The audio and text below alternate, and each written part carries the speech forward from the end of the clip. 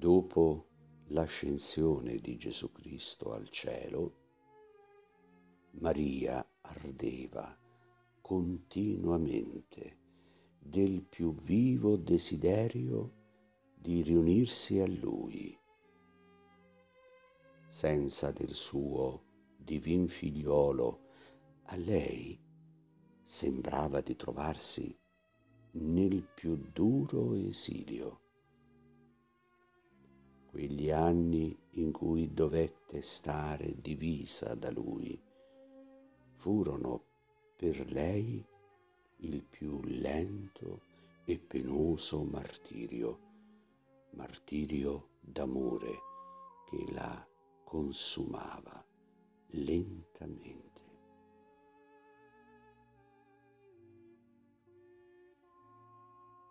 Oggi, fratelli miei, festeggiamo un altro santo cappuccino, San Crispino da Viterbo, anche lui devotissimo della Madonna. Addirittura faceva dei sonetti e delle canzonette alla Madonna. Vedete, forse io dico, i francescani questa devozione alla Madonna ce l'hanno nel sangue, perché San Francesco fonda l'ordine dove? In una chiesetta mariana, chiamata la Porziuncola Santa Maria degli Angeli. E allora ogni buon francescano ha nel suo sangue questa tradizione tramandata dal serafico padre San Francesco che comporrà delle bellissime preghiere alla Madonna dove la chiama ti saluto, ave suo palazzo, ave sua dimora, ave suo tabernacolo, ave sua ancella sono delle preghiere di San Francesco composte da lui meravigliose.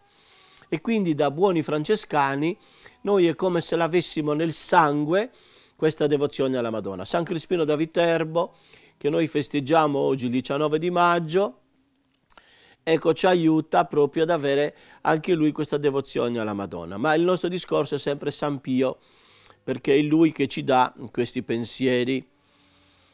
E dice che dopo l'ascensione di Gesù Cristo al cielo, Maria ardeva continuamente del più vivo desiderio di unirsi a lui. Senza del suo divin figlio a lei sembrava di trovarsi nel più duro esilio.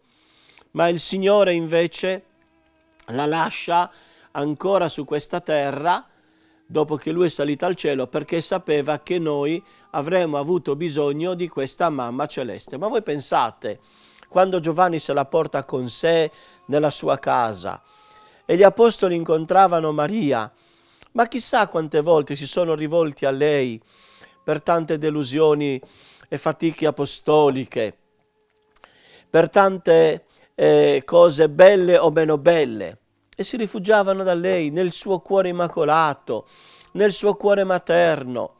E quante volte Maria li avrà consolati, e li avrà ricordati, pensate a Gesù, quello che ha dovuto passare Gesù. Gesù l'ha detto, hanno perseguitato me, perseguiteranno anche voi, ma avanti, con voi ci sono io, sono la vostra mamma. Vedete, a me mi ha sempre colpito l'immagine della mamma con un bambino. Eh, ci può essere mm, chiasso, può succedere qualcosa, il bambino in braccio della mamma si trova sempre al sicuro, si sente protetto. Ecco così noi dobbiamo fare in braccio di questa mamma.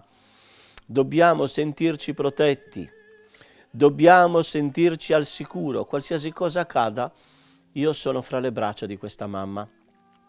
E allora io voglio essere come un bambino di qualche mese in braccio alla mamma a questa mamma che si chiama Mamma Maria, dove tra le braccia di Mamma Maria io mi sento al sicuro.